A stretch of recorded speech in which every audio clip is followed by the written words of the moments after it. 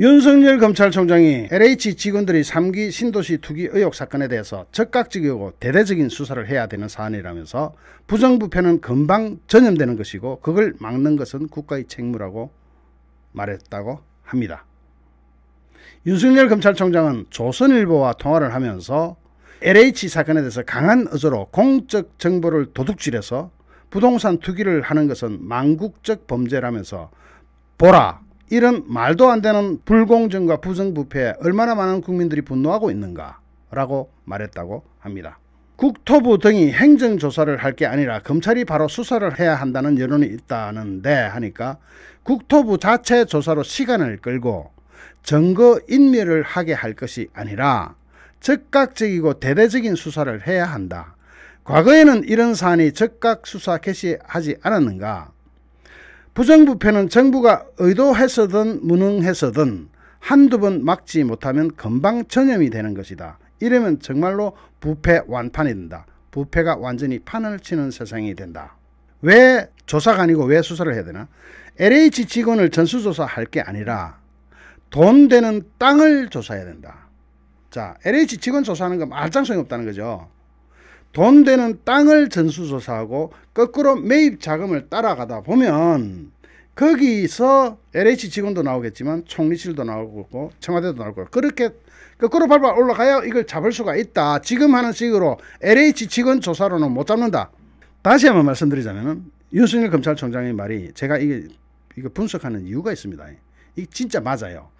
LH 직원을 전수조사하는 것은 아무 소용이 없다는 겁니다. 지금 정부는 문, LH 직원을 전수조사하겠다고 하는데 그걸로는 못 잡는다는 이야기입니다. LH 직원을 전수조사할 게 아니라 돈 되는 땅을 전수조사하고 매입 자금을 따라가라. 그렇게 되면은 사건에 걸려 있는 다른 모든 사람들을 다 잡아낸다. 자, 총리실이나 국토부 조사처럼 LH나 청와대 직원을 상대로 등기부만 보면서 땅 샀나 안 샀나 이렇게 물어보는 전수조사는 할 게 아니다. 그렇게 말로 물어봐서 뭘 밝힐 수 있겠나. 진짜로 수사 베테랑으로서 하는 이야기예요. 어떻게 밝혀야 한다는 거냐 하니까 신도시의 개발 계획과 보상 계획을 전부 다 정밀 분석해라. 계획부터 분석을 해라. 신도시 개발 계획과 보상 계획을 만드는 사람부터 이래면 누군지 누군지 나오겠죠. 그러면서 돈이 될 땅들을 찾아서 전수조사를 해야 된다. 거래된 시점과 거래된 당, 단위, 땅의 이용 상태 등을 땅의 이용 상태, 나무를 심었느냐, 씹을 지었느냐, 이용 상태 등을 분석한 뒤에 그 돈이 어디서 나왔는지 매입 자금원을 추적을 통해서 실소유주를 밝혀야 된다.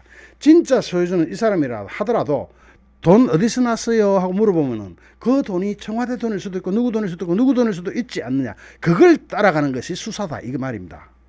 미공개 정보 이용 금융 사건 수사와 아주 비슷하게 들어가야 된다. 실명보다는 차명 거래가 훨씬 많을 것이다. 딱 이렇게 집어냅니다. 수사 이렇게 해야 하는 거예요. 오는 4월 서울시장, 부산시장 보궐선거 때문에 검찰에 전면 수사를 안 맡긴다는 얘기도 있는데 하니까 윤석열 검찰총장 선거를 의식해서 LH 의혹을 얼버무려서는 안 된다. 여든 야든 진영에 관계없이 저, 책임 있는 정치인이라면 신속하고 대대적인 수사를 촉구해야 되지 않겠나. 모든 국민이 분노하는 이런 극도의 부도덕 앞에서는 선거를 계산해서는 안 된다. 자 여기서 저는 다른 거 별로 뭐 안다고 봅니다. 수사 기법입니다. 우리가 주목해야 될 거는 LH 직원을 전수조사하는 이런 식으로는 아무것도 안 된다. 하지 마라 차라리. 돈 되는 땅을 먼저 조사해라. 땅을 가지고 거꾸로 가다 보면 온갖 게 다 나온다.